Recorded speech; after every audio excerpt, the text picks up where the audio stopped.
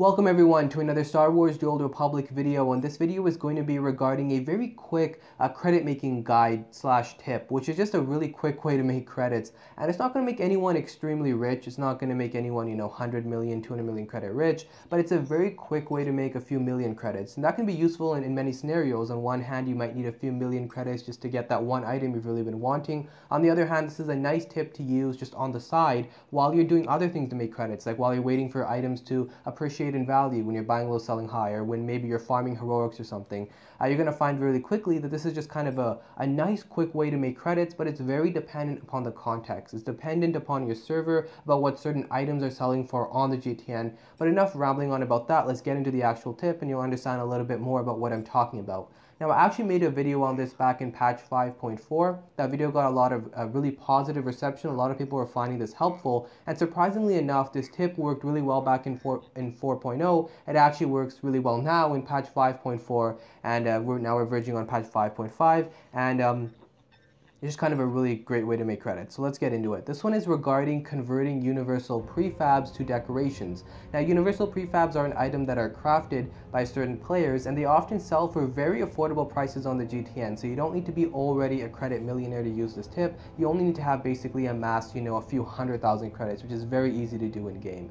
Now what you'll notice about these uh, universal prefabs is that they fluctuate a lot in price. You'll see in this video that I'm buying up the green ones here for 150,000 credits. I'm buying up the purple ones for 179,000 credits. Very expensive and I'll just quickly shoot off a clip here on the red eclipse. Now you'll see that here on the red eclipse they're going for considerably lower prices. Uh, the green ones are only going for 46,000 credits and the purple ones are going for 145,000 credits. I would call these items kind of an unstable economy because the prices never really seem to stabilize. They jump all over the place, which is why, as I said earlier in this video, this tip is very much about context. It's about what deal you can find on the GTN. Are you there at the right moment? But a lot of times you'll find that you'll still make credits regardless. So in this first example, I bought up two universal prefab uh, green ones for 150,000 credits for a total of 300,000 credits. And I bought up 10 purple ones at 179,000 credits each, which is 1.8 8 million credits.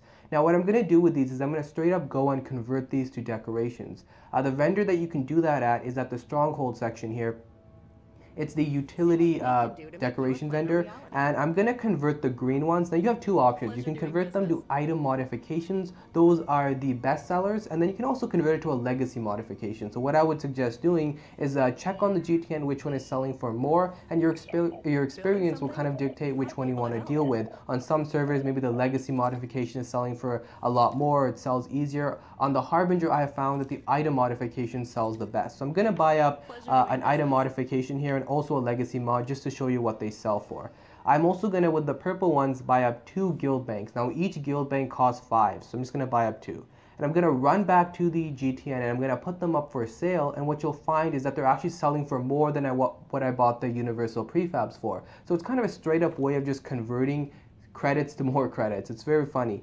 And um, yeah, so I'm going to put them up and I'm going to list up the guild banks for around 1.3 million credits each. I'm going to list up the item modification for 235,000 credits and I'm going to list up the legacy modification for two for actually no right now it's selling for 150,000 credits but what you'll find is when I actually sold it I sold it for a lot more because uh, this one was priced it was very underpriced and it sold really quickly and so I was able to uh, list up mine for a little bit more and sell it.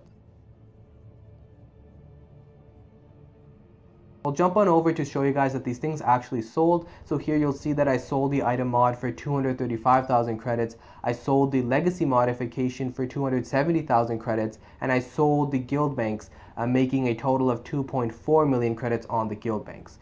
So with the greens, I made a profit of I made a profit of 200,000 credits, not much, but it's something. And then with the purples, which are the real money makers, I made a profit of around 600,000 credits. So in total from this little venture, I almost made a million credits.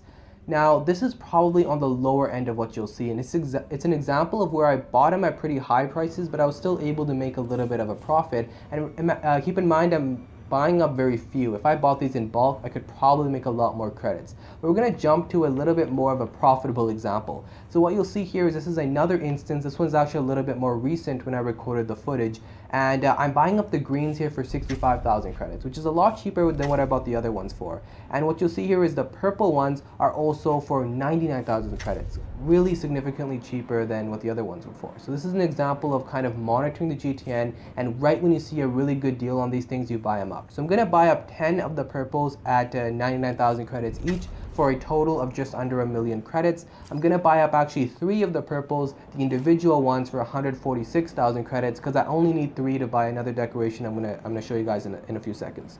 So basically, I'm going to run over back to the vendor. I'm going to convert the 10 purples to two guild banks like I did earlier. And I'm going to convert three purples to a GTN kiosk. Now we're going to do the run back to the GTN and uh, we're going to list these. Uh, what you'll see here is I'm going to list the guild bank for actually just under 2 million credits. So interestingly enough, it's selling for a lot more than what the other one was selling for. And then I'm going to list up the GTN kiosk for 950,000 credits. So the things here are selling for a lot more and that's only because I was kind of monitoring the GTN to see uh, what's the best time to sell these at. And so um, I'm going to skip on over to when these actually sold. So here you'll see that I ended up selling one GTN for, uh, one Guildbank, sorry, for 1.8 million credits. I sold another one for 1.6 million credits, and then I sold the GTN kiosk for 794,000 credits. So on the GTN kiosk, I made a profit of around 300,000 credits. Still not crazy, but actually on the guild banks, I ended up making a profit of just under 2.4 million credits. So that's a huge profit to have made.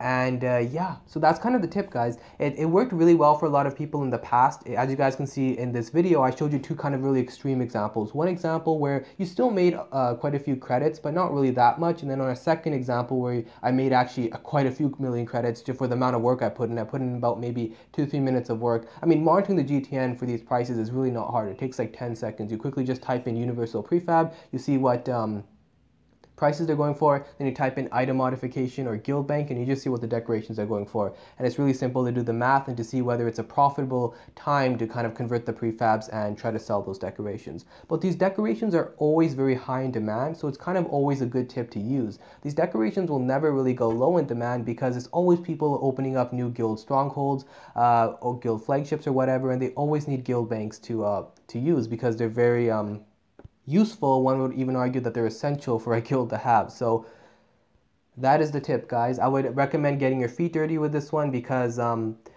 uh, what's going to end up happening is you're going to gain a little bit more experience and it's going to suddenly become very easy. And it's kind of a nice thing to have, as I mentioned earlier, just in your back pocket for, let's say, for example, you just need an extra 3, 4 million credits and this is kind of an easy thing to do. It takes really no time. Uh, you just need to make sure that the market is right. Probably not going to work really well on dead servers or low, low populated servers, but I can attest to the fact that it will work really well on the Harbinger and the Red Eclipse because I've done it on both of these servers to a lot of success and it probably works very well in a few of the other servers like Ebon Hawk as well.